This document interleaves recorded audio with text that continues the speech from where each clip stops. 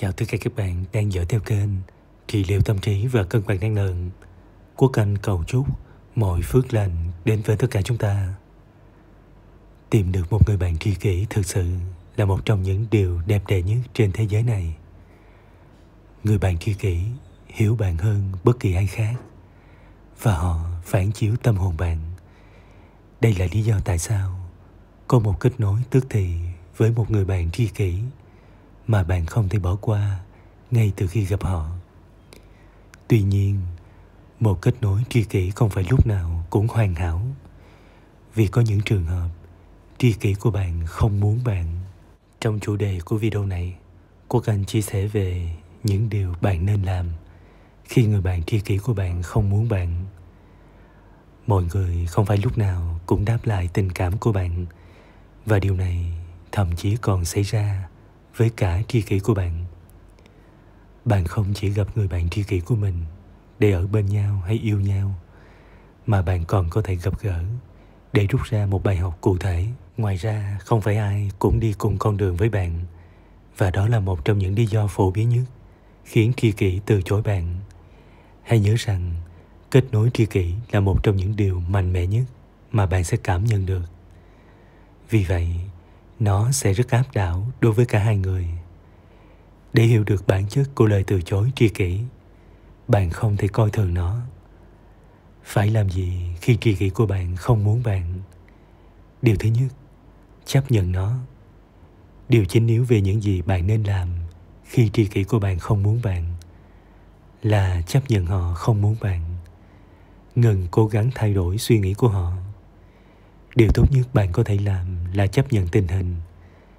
Người tri kỷ của bạn rõ ràng, chưa sẵn sàng ở bên bạn và không thể cam kết. Bạn chấp nhận sự thật phủ phàng này càng sớm thì càng tốt. Chúng ta biết rằng khó khăn như thế nào để chấp nhận một lời từ chối tri kỷ. Nhưng những điều này đều là một phần của cuộc sống. Người tri kỷ của bạn không ở cùng mức độ phát triển cá nhân như bạn. Bạn cần phải chấp nhận rằng đây là trường hợp ngay cả khi bạn là người bạn tri kỷ, thì mối quan hệ này cũng cần xuất phát từ hai người. Điều thứ hai, khi tri kỷ của bạn không muốn bạn, khi ai đó không cảm thấy như vậy hoặc không muốn cam kết với chúng ta, xu hướng của chúng ta là cố gắng thay đổi suy nghĩ của họ hoặc kiểm soát tình hình hơn nữa. Tuy nhiên, bạn cần cho tri kỷ của mình không gian và hãy để họ như vậy bạn không có trách nhiệm phải thay đổi suy nghĩ của người chi kỷ, hoặc khiến họ chọn bạn. Nếu họ muốn tiếp tục từ chối kết nối của bạn, hãy để họ như vậy. Nói thì dễ hơn làm, nhưng bạn cần để chúng như vậy. Bạn chỉ có thể giúp họ phát triển, nhưng bạn không thể ép họ làm như vậy khi họ chưa sẵn sàng. Một kết nối tri kỷ mạnh mẽ đến mức người ta thực sự có thể từ chối và bỏ chạy khỏi kết nối đó. Rốt cuộc, đó là một mối quan hệ thiên liêng. Vì vậy, khi đối mặt với một lời từ chối chi kỷ, bạn cần phải để họ như vậy. Điều thứ ba, đừng cố đuổi theo họ nữa.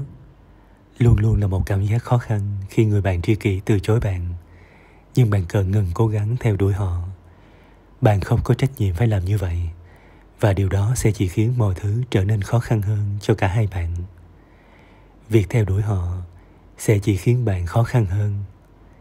Ngay cả khi bạn muốn họ chọn bạn và cam kết với bạn bạn không thể làm gì nếu họ chưa sẵn sàng. Người tri kỷ của bạn đang đi trên một con đường hoàn toàn khác với bạn, hoặc không cảm thấy giống bạn. Đã đến lúc bạn chấp nhận sự thật hơn là ép buộc ai đó chưa sẵn sàng. Đẹp đẽ và phi thường như khi được ở bên người bạn tri kỷ. Không phải ai cũng sẵn sàng giải quyết việc này điều thứ tư, đừng cảm thấy tội lỗi. Đây là một điều quan trọng khi đề cập đến những việc cần làm khi người bạn tri kỷ không muốn bạn. Bạn không kiểm soát được tri kỷ của mình. Đừng cảm thấy tội lỗi rằng sự phát triển của họ khác với của bạn, vì đó không phải là điều bạn có thể kiểm soát. Giống như bạn không bao giờ được hạ thấp tiêu chuẩn của mình đối với bất kỳ ai, đối với sự rung động của bạn cũng vậy nếu tri kỷ của bạn từ chối bạn, và bạn sẵn sàng trải qua quá trình chữa lành và trưởng thành, mà sự từ chối này mang lại cho bạn, thì đây chỉ là bằng chứng bạn đang ở cấp độ phát triển khác nhau. Một lời từ chối tri kỷ không có nghĩa là bạn phải ngừng cảm nhận bất cứ điều gì đối với họ. Đó không phải là cách nó hoạt động. Bạn vẫn có thể cảm nhận được những cảm xúc mạnh mẽ dành cho người tri kỷ của mình, ngay cả khi họ từ chối bạn và không sẵn sàng ở bên bạn. Điều thứ năm, hãy là tri kỷ của chính bạn. Nếu bạn muốn chữa lành khỏi sự từ chối của tri kỷ, điều tốt nhất bạn có thể làm là trở thành tri kỷ của chính mình. Hãy ngừng cố gắng ép buộc điều gì đó không có nghĩa và tập trung vào sự phát triển cá nhân của bạn. Đây là cơ hội tốt nhất để tập trung vào tình yêu bản thân của mình. Hãy cho tri kỷ của bạn thời gian và không gian để trưởng thành và học được những bài học quan trọng, đồng thời tập trung vào việc yêu thương bản thân nhiều hơn. Kết nối tri kỷ thật sự là một trong những điều mạnh mẽ và phi thường nhất mà bạn sẽ trải qua trên thế giới này. Đây là lý do tại sao việc bị từ chối chi kỷ có thể khiến bạn cảm thấy rất tồi tệ, nhưng bạn không nên quá coi thường điều đó. Nếu họ không muốn bạn, hãy trở thành tri kỷ của chính bạn. Điều thứ sáu tập trung vào sự phát triển cá nhân của bạn.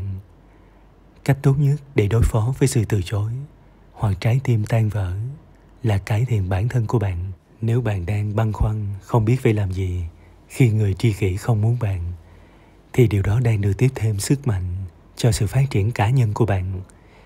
Hãy dành thời gian để chữa lành và hồi phục sau sự từ chối này và nhận ra rằng đây không phải là sự phản ánh, sự kém cỏi hay thiếu giá trị của bản thân sự thật là, họ đang thiếu điều gì đó mà họ không thể cam kết với bạn, hoặc không sẵn sàng đối mặt với những cảm xúc mạnh mẽ, đi kèm với sự kết nối tri kỷ sau tất cả. Đó là một trong những mối quan hệ mạnh mẽ nhất mà bạn có thể có trên thế giới này. Ngoài tất cả những điều quốc anh vừa chia sẻ, rất có thể họ không phải là tri kỷ của bạn. Có thể bạn nghĩ rằng họ có đầy đủ những dấu hiệu của một người bạn tri kỷ cho nên bạn không cảnh giác. Họ không phải là tri kỷ của bạn. Bởi vì cho dù bạn cố gắng như thế nào đi chăng nữa, họ và bạn rung động ở những cung bậc khác nhau.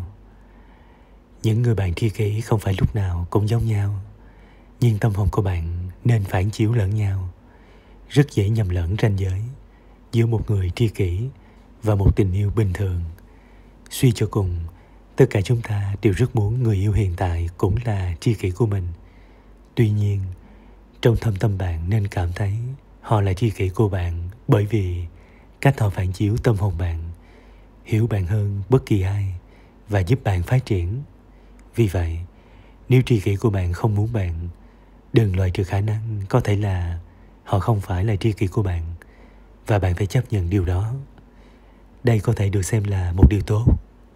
Nó chỉ có nghĩa là người bạn tri kỷ của bạn vẫn còn ở ngoài kia có nghĩa là lời từ chối này chỉ là một lời từ chối điển hình thay vì là một lời từ chối từ tri kỷ họ chỉ là người hiểu bạn nhưng tâm hồn bạn không rung động với tần số tương tự các bạn có thể kết nối trực tiếp với Quốc Anh qua fanpage và qua Zalo theo số điện thoại Quốc Anh đã chia sẻ bên dưới mỗi video. Quốc Anh trân trọng những cảm xúc đến từ tất cả các bạn. Ngoài ra, các bạn có thể chia sẻ trải nghiệm và kinh nghiệm của các bạn bên dưới video.